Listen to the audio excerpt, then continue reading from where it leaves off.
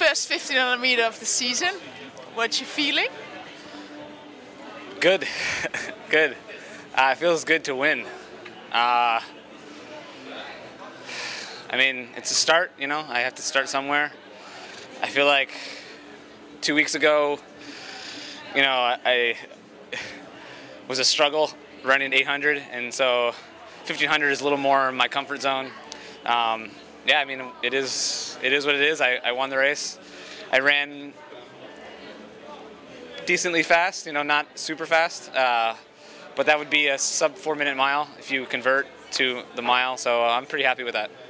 Yeah. Also, if you watch, if you compare 152 to now 341, 341 yeah. is a very different level, right? Yeah, I think so. It's a, it's a, it's another step ahead. Um, so I think that you know every every race hopefully we'll get better and better. Um, and it was still a little bit a struggle. You know, the the first part it still didn't feel totally comfortable. Um, but I'm just going through growing pains. Um, and yeah, like I said, I mean, anytime you cross the finish line first is usually good. How, how was your focus? It was good. It was good. Um, I was a little bit nervous, um, but I think that was good uh, to kind of get it out of the way. Um, I think it's going to give me some confidence. Um, and yeah, I think my focus was good. I, uh, I was struggling a little bit in the middle parts, and I, I stayed in a good enough rhythm so that at the end I was able to, you know, close hard. Um, and yeah, I think that the now I just need to do the same thing, but in a, you know, a faster race. You know, it's the the formula is there. Before I can close fast in a race that's 330, I need to be able to close fast that's a race that's 342. So, you know, one step at a time. So. It's one step at a time, but when I talked to you uh, earlier this week, it was your eyes were normal, but now there's a big twinkle in it. like I said, it feels it always feels good to cross the finish line first. And it's been a long time since I've done that. So um, this is my the first time I've won a race in a while. uh, did I win that race? Uh, I forget if I won my last race, but anyway, I won today and uh, in Belgium again.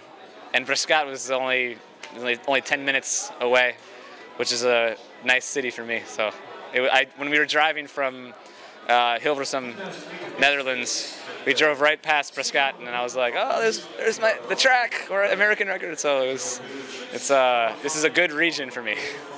Good memories bring good results. Good, good memories, good memories for sure.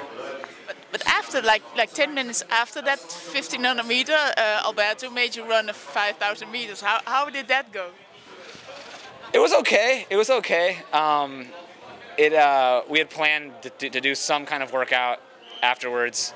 Um, just because you know we want to race, but we're still you know building fitness, you know, and so uh, we wanted to do something, some kind of workout. And I was like, well, we're gonna do. We were planning on doing a kind of tempo run type thing, and so it was perfect. You know, I got maybe 10 minutes rest or something. I don't know exactly. Um, and he just said run 70 second pace or so.